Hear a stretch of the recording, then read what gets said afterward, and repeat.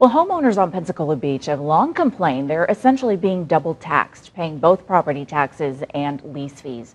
Florida Senator Marco Rubio and Congressman Representative Jeff Miller have introduced new legislation to give homeowners and businesses on Santa Rosa Island the option of getting the title to their land.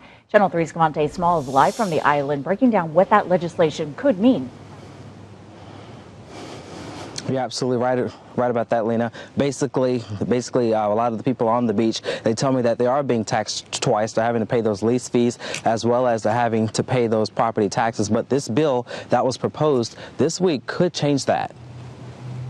This is the view Dave Kessler gets to see often on Pensacola Beach. He's owned beach property for 25 years. It may be paradise, but it comes with a cost. Well, it's been fine until uh, they came in with the edict that we need to pay taxes on top of our lease fees and municipal service benefit units and on and on. Ownership of Santa Rosa Island has changed hands several times between local counties and the federal government. In 1947, the federal government transferred ownership of the island to Escambia County. As part of the agreement, the county could not sell any of the land. Instead, the land has been leased to home and business owners. Leaseholders have been paying lease fees and a land and improvement tax.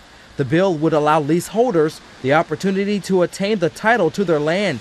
Escambia County Commissioner Grover Robinson says this could also open the door to canceling the lease fee. I think it'll be better in the long run that uh, we have control of the property and uh, uh, take it away from the SRIA. Mary Williams also lives on Pensacola Beach. She's not as sold on the new bill. Her position weighs largely on the benefits the improvement tax has had on the island. It uh, helps pay for things out here, like bringing in the Blue Angels and a lot of other things that it does to improve the island. The bill would keep public beach access, keep restrictions on conservation areas, and it keeps Gulf Islands National Seashore intact.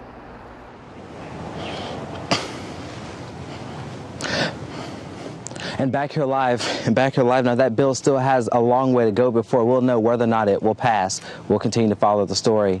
But I'm reporting live on Pensacola Beach, Cavante Smalls, Channel 3 News.